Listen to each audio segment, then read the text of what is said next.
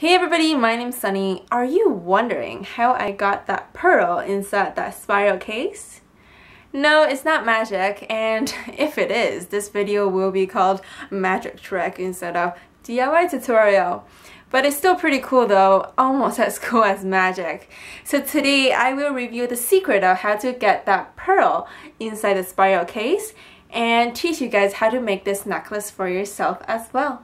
The things you need are wire, long nose plier, a single pearl, a fake one will do just fine, necklace chain, and optional is silver or gold paint.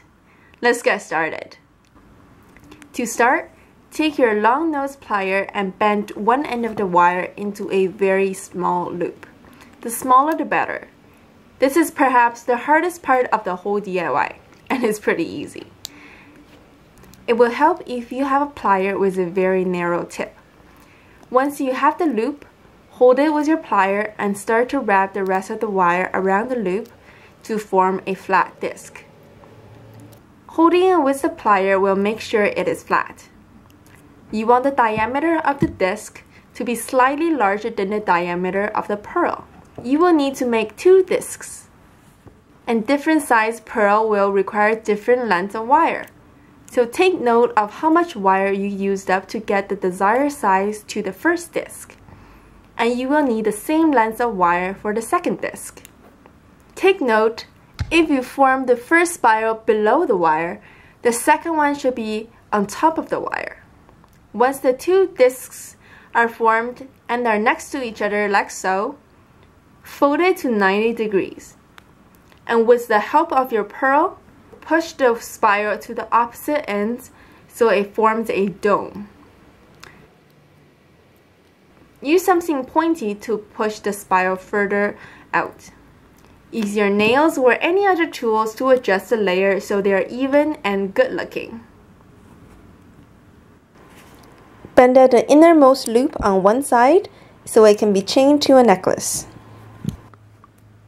Then pop the pearl in the opening and close it up and you're pretty much done. But I'm not too happy about this ugly wire I have.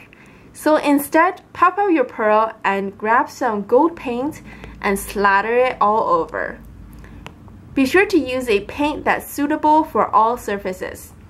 But if you want to be doubly sure, apply a layer of clear nail polish to the paint once it is dried. Then pop in your pearl Chain it to a matching necklace with a jump ring and you're all done. Now you're empowered with the knowledge of an awesome DIY and the secret to the spiral necklace. All there is left to do is to take over the world. Thanks for watching. Were you surprised at how easy it was? And I'm sure you have to agree it's a pretty awesome DIY. So give it a try yourself and remember to stay creative. Let me know in the comment section down below what is one thing you can't figure out how it got there. And as always, remember to subscribe for new DIY videos every Thursday and new vlog every Monday. See you guys next week.